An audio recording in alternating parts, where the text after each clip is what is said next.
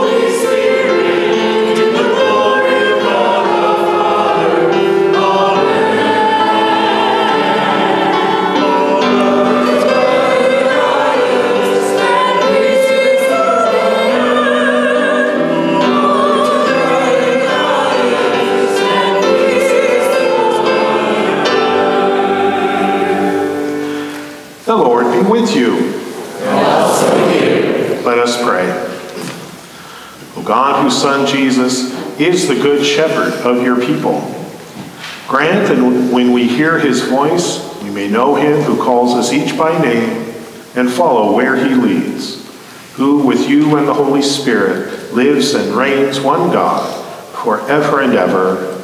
Amen. Amen. You may be seated.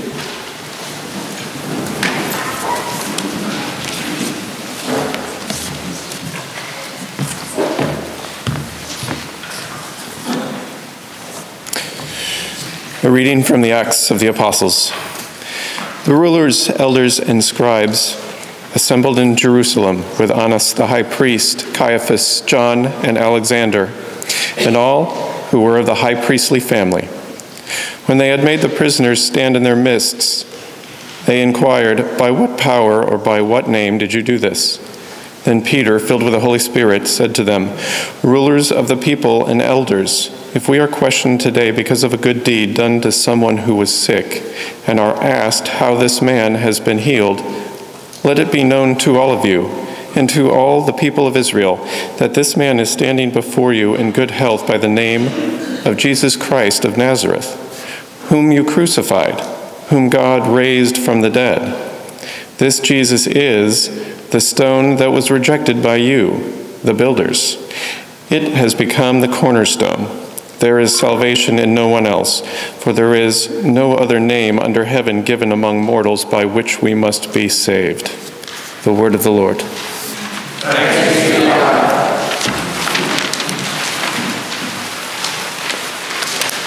We will say together Psalm 23 as found on page 2.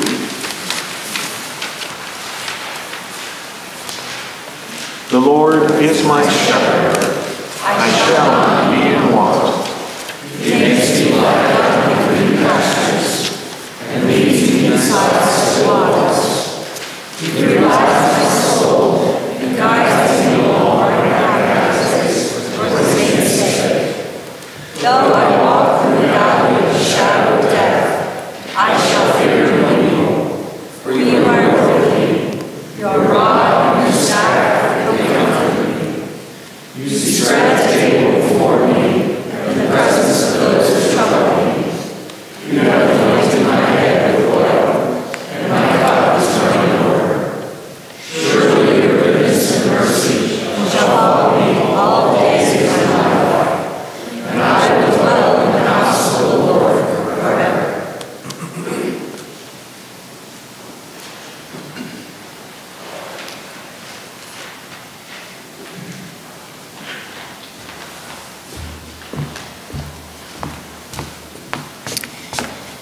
A reading from the first letter of John. We know love by this, that he laid down his life for us, and we ought to lay down our lives for one another. How does God's love abide in anyone who has the world's goods and sees a brother or sister in need and yet refuses to help? Little children, let us love, not in word or speech, but in truth and action. And by this we will know that we are from the truth and will reassure our hearts before Him whenever our hearts condemn us. For God is greater than our hearts, and He knows everything. Beloved, if our hearts do not condemn us, we have boldness before God, and we receive from Him whatever we ask, because we obey His commandments and do what pleases Him.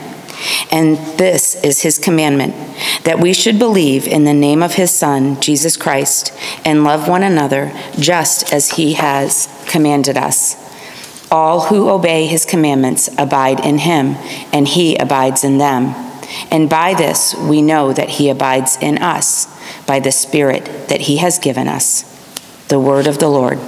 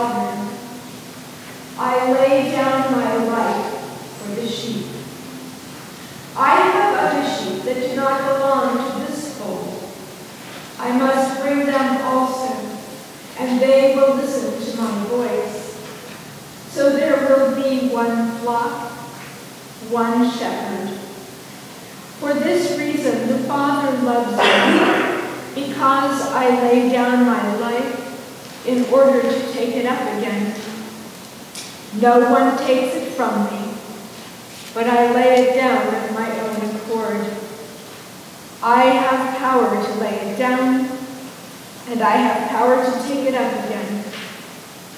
I have received this command from my Father. The Gospel of the Lord. Praise to you, Lord Christ.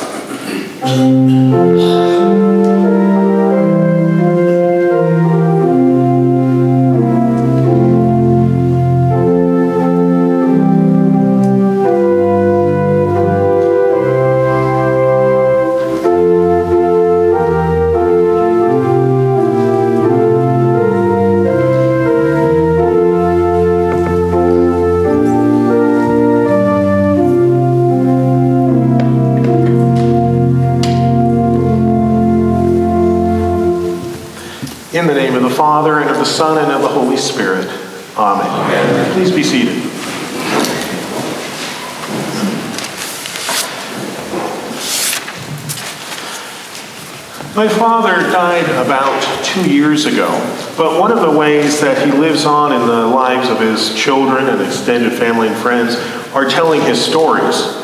And I have a lifetime of stories from him that I could share with you in sermons through the years, and you'll, you'll hear a few, I know. But when it's Good Shepherd Sunday, there's one story that I've told many times through my years as a priest. It's the story of my father working as a shepherd one summer. It was the Great Depression, jobs were scarce, and summer after summer, through my father's teenage years, he ended up with one lousy job after another just to put food on the table for his household. So one summer in South Texas, the hot, dusty South Texas, he worked as a shepherd.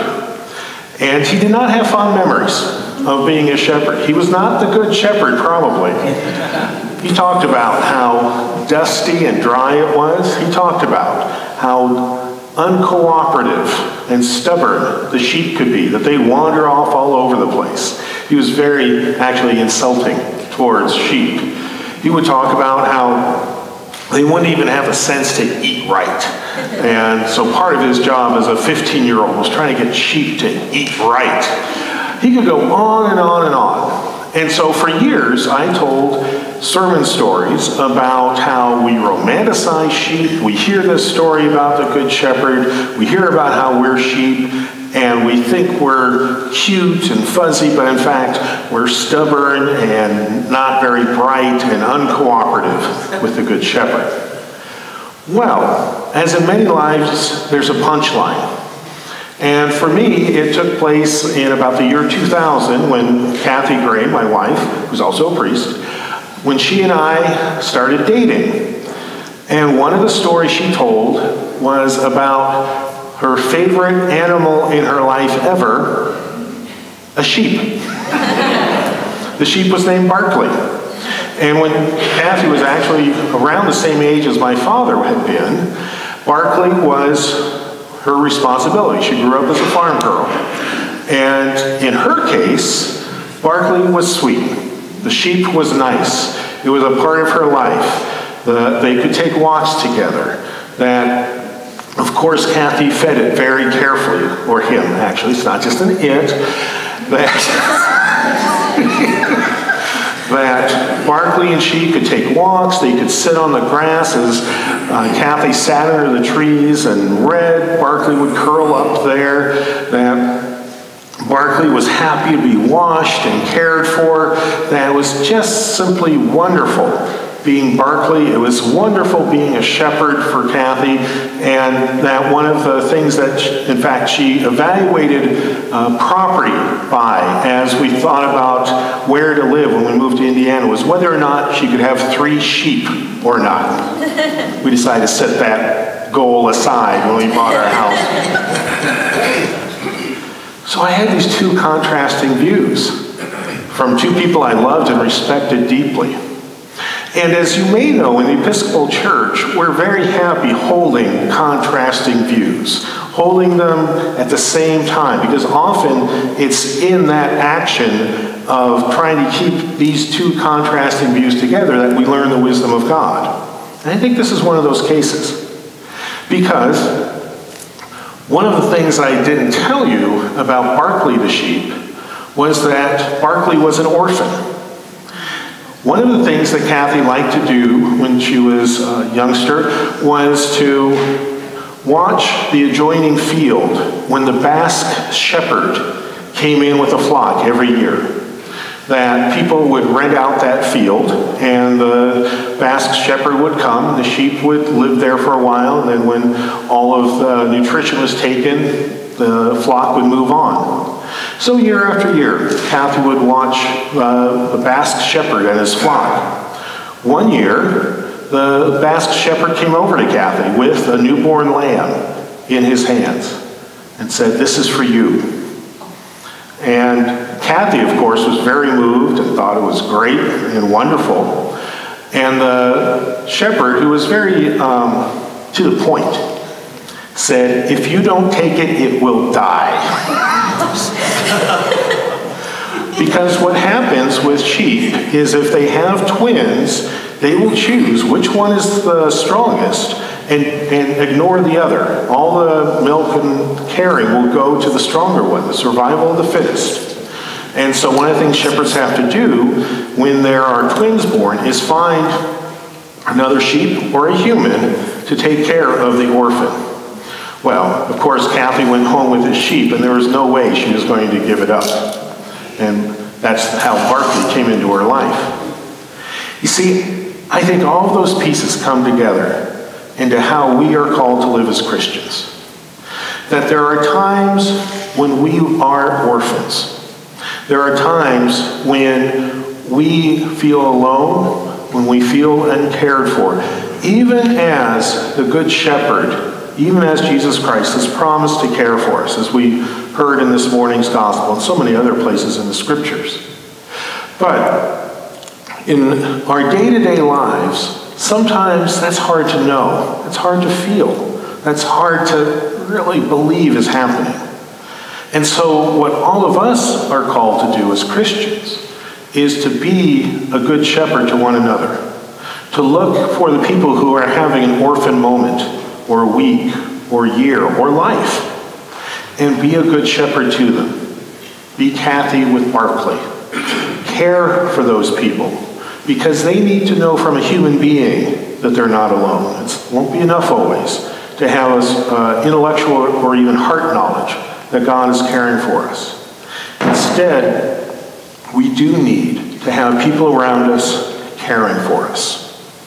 And that's one of the great things about being part of a congregation like Holy Family is that I can promise you, if today is an orphan day for you, there are people around you right now who are willing to be a good shepherd for you. Or if two weeks from now, or two years from now, or two decades from now, there are people at Holy Family who will do that. But part of being a Christian is not saving that kind of love just for people who go to our church or are part of our family or a circle of friends. Instead, we are called to have that kind of love for the whole wide world. Usually, it's more restricted than that. Usually, it'll just be people around us, people we've come across, who are having an orphan day, who are having an orphan moment, who are having an orphan life and need that kind of love. You see, it's in, for me, it's in hearing the story of one sheep that transformed my view of all sheep. I can no longer drive by a flock of sheep and think about my dad's words without hearing about the corrective of Barclay, of what that one individual sheep is like. And that's why we try to support our youth working on mission trips. It's that same dynamic. They get to know one, two, three, a dozen people, and their whole life changes because they see the whole world differently. They see the human race differently. And we are called to do the same kind of things as adults to seek out people who change how we see the world, how we see people. To find the Barclays who need love. Find the Barclays who need our attention. Find the Barclays who are otherwise alone. And in that encounter, God will bless us in a way that will shift how we see the whole human race and how we see ourselves. Because suddenly, how God is and who God is is made real in that interaction between ourselves and a person who, a little while before, might have been a stranger, but now is someone who we're sharing God's love. Them giving to us and us giving to them. And of course, that's what's so true is that all of us will be at times orphans. All of us at times will be in need of some Barclay attention where we need good shepherds. So we can't just see ourselves as giving to others. We also have to be prepared to receive, and sometimes that's harder. So as we walk through our lives, as we walk through our lives as Christians, as we walk through our lives as family members, as we walk through our lives as friends, as we walk through our lives as people of Holy Family, we have to be ready to give and to receive to be the good shepherd and to be a sheep. Sometimes dirty and uncooperative, sometimes sweet and hand fed. But to be able to love and be loved will help us become full human beings and full Christians. More able to love because we receive love. More able to be the good shepherd for the world around us, which needs such people so desperately. In the name of the Father, and of the Son, and of the Holy Spirit. Amen. Amen.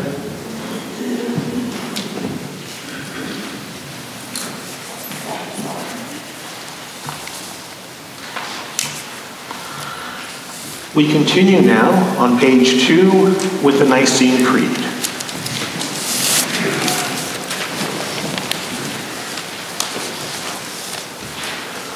We believe in one God Father Almighty, maker of heaven and earth, all that is seen and unseen.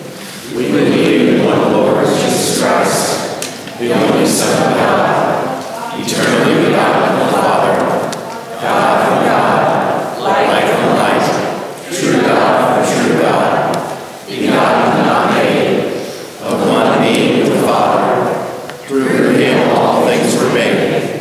For us and for our salvation, he came down from heaven. By the power of the Holy Spirit, he became incarnate from the Virgin Mary and was made man. For our sake, he was crucified under Pontius Pilate. He suffered death and was buried. On the third day, he rose again, in accordance with the Scriptures. He ascended to heaven and is seated at the right hand of the Father. He will come again, O Lord, to judge the living and the dead, and his kingdom will have no end. We believe in the Holy Spirit, the Lord, giver of life, who proceeds from the Father and the Son. With the Father and the Son, he is worshipped and glorified. He has spoken through the prophets. We believe in one holy Catholic and apostolic church. We acknowledge one baptism for forgiveness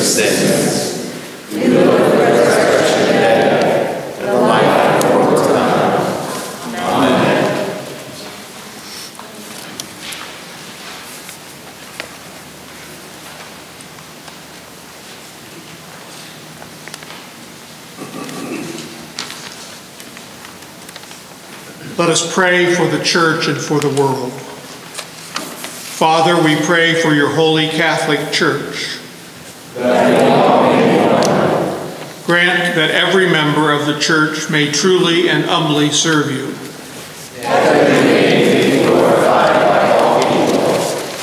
In our diocesan cycle of prayer, we pray for postulants and candidates for holy orders. We pray for all bishops, priests, and deacons.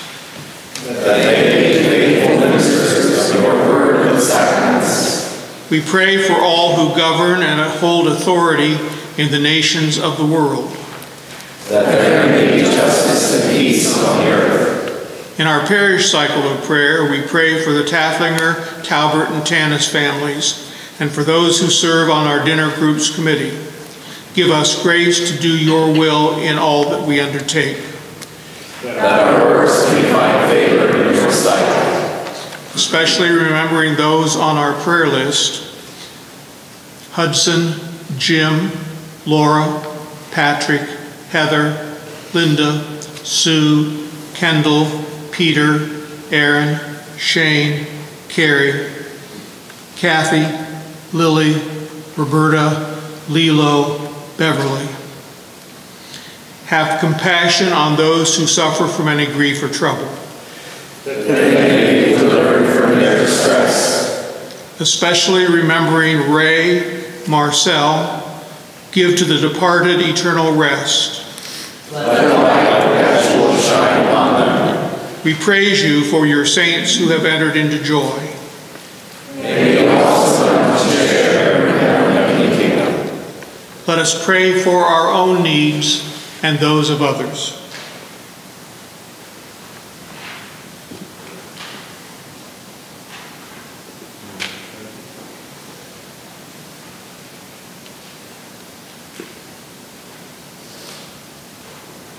Heavenly Father, who has filled the world with beauty, open our eyes to behold your gracious hand in all your works, that rejoicing in your whole creation, may, we may learn to serve you with gladness for the sake of him through whom all things were made, your Son, Jesus Christ our Lord.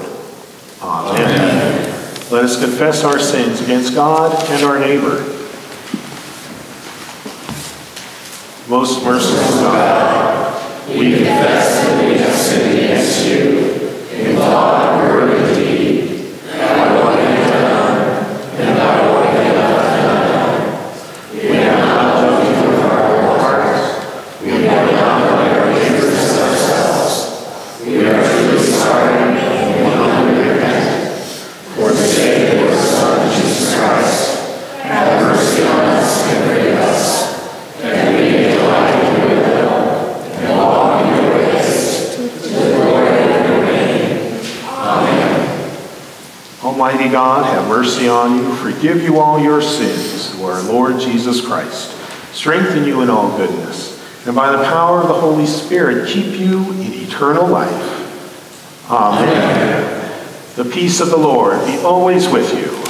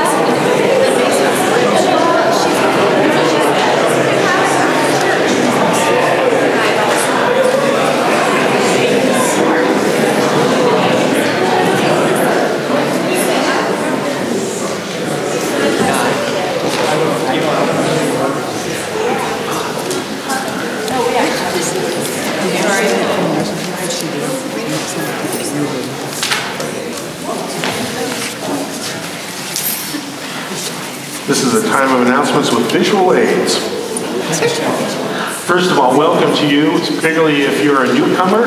We have the newcomer clipboards available to you throughout the worship space and the social spaces as well. You can keep the little pamphlet that's on the cover, and if you'd like, you can fill out the card that's beneath it. Then at the end of the service, you can give it to any of the clergy, anyone wearing a blue name tag, an usher. You can put in the offering plate if you're ahead of the game, uh, and we appreciate you doing all those things.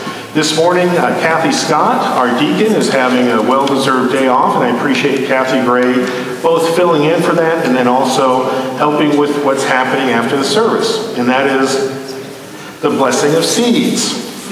My last visual aid, there we go, bigger. What we'll do, and it looks like the rain's holding off, is after we finish singing the last hymn, we'll follow the cross out the doors and down to the outdoor chapel. From the outdoor chapel, we'll walk a few steps over to bless the community garden and then return to the chapel to bless seeds and plants for anyone who has brought those uh, to church today. Uh, if so, if you don't want to keep walking, you're welcome to just stay in the chapel, and we will return to the building for coffee and all that if you don't want to take the entire trip. One of the fun things that will happen that I hope you'll have your cameras out for and put on Facebook and all is the children get to scatter wildflower seeds along the tree line, particularly around the chapel. And hopefully those will uh, be beautiful in, in a couple months or so, but also, of course, it's in part teaching the children uh, about how we care for the world around us. I think those are all the logistics on that, but I'll announce things as we go along. Few things coming up this week. On Tuesday evening, the Brotherhood of St. Andrews is sponsoring a men's fellowship gathering at the Chatham Tap. That's at 7 p.m. On Saturday, the youth group is hosting a spaghetti dinner and silent auction. If you've been following on Facebook or Instagram, you can see some of the uh, baskets that will be auctioned off pretty impressive uh, group of things available. Both those events are good things to bring friends to. Coming up on May 16th and 13th, we'll be doing baptisms at this service. If you or someone you know is interested in baptism, you can contact myself or the church office, and we'll make sure you get to be part of that as well. That's right. Time now for the offertory. So walk in love as Christ loved us and died for us, an offering and a sacrifice to God.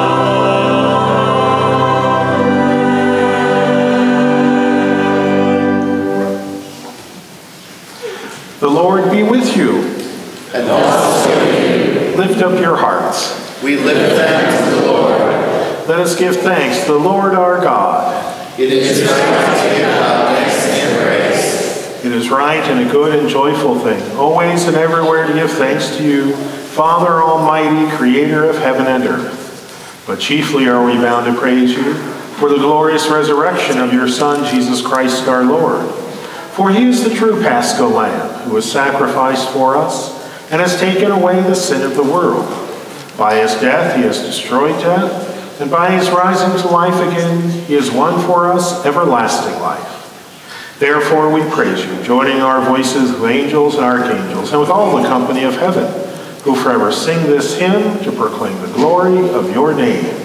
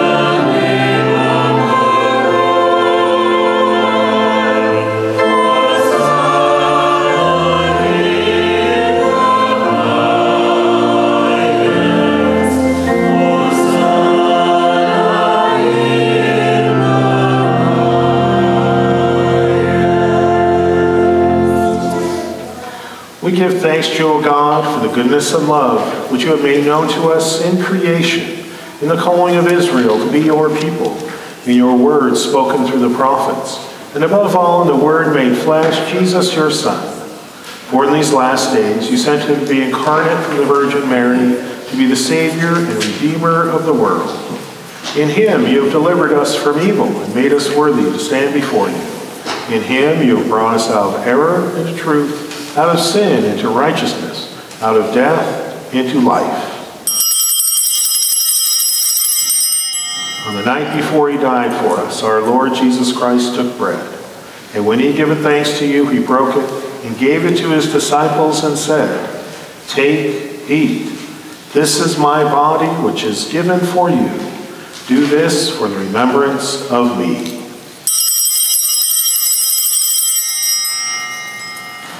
After supper, he took the cup of wine, and when he had given thanks, he gave it to them and said, Drink this, all of you.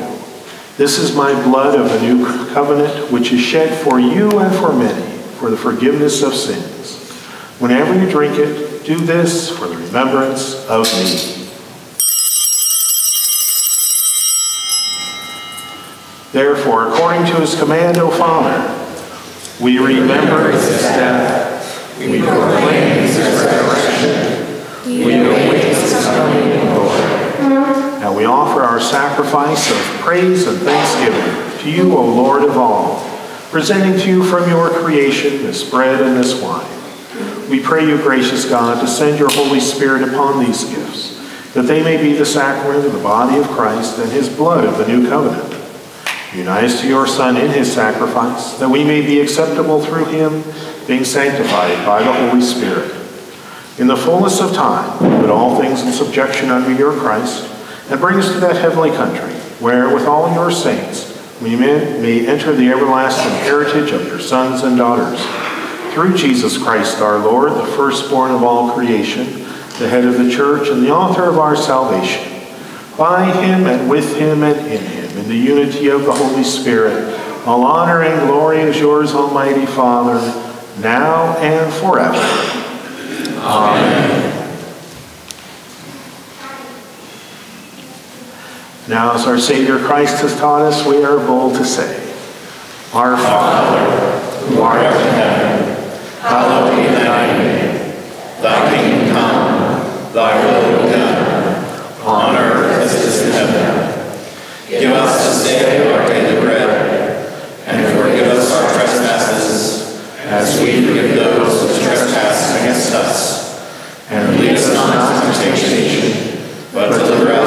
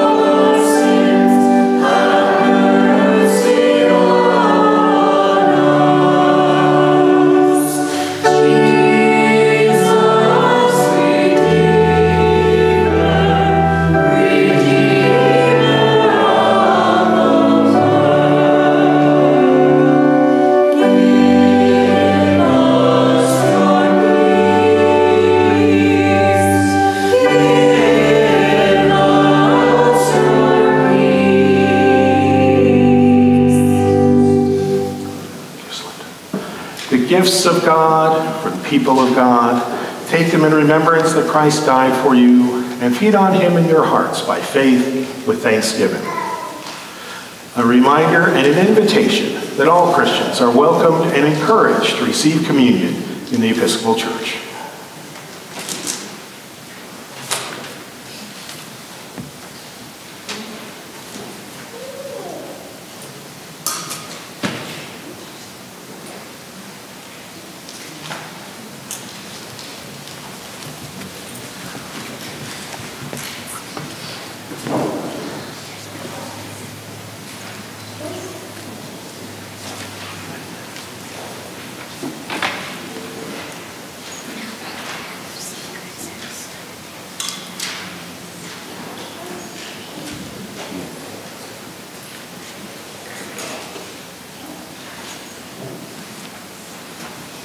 body of Christ, the bread of heaven. The body of Christ, the bread of heaven. The body of Christ, the bread of heaven.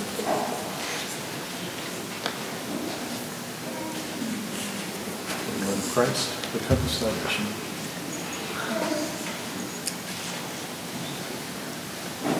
The blood of Christ, the cup of salvation. The blood of Christ, the cup of salvation.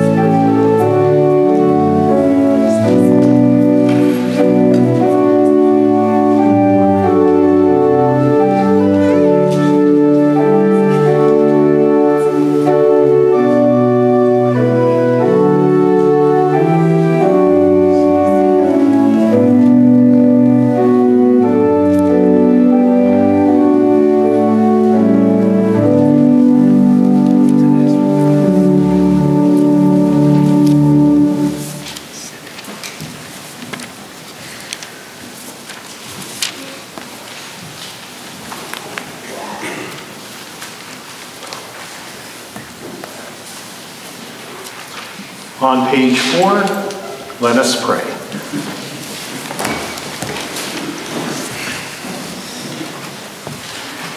Eternal God, Heavenly Father, You have graciously accepted us as living members of your Son, our Savior, Jesus Christ, and you have fed us with spiritual food, the sacrament of His body and blood. Send us now to the world of peace, and grant us strength and courage to love and serve you with gladness and singleness of heart. Through Christ our Lord. Amen. May Almighty God, who has redeemed us and made us his children through the resurrection of his Son our Lord, bestow upon you the riches of his blessing. Amen. May God, who through the water of baptism has raised us from sin into newness of life, make you holy and worthy to be united with Christ forever.